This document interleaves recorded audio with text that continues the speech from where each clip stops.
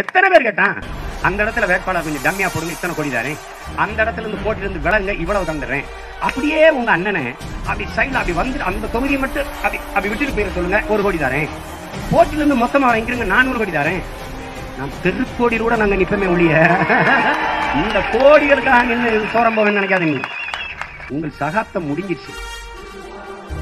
முடிஞ்சிருச்சு. நீ ஒன்னு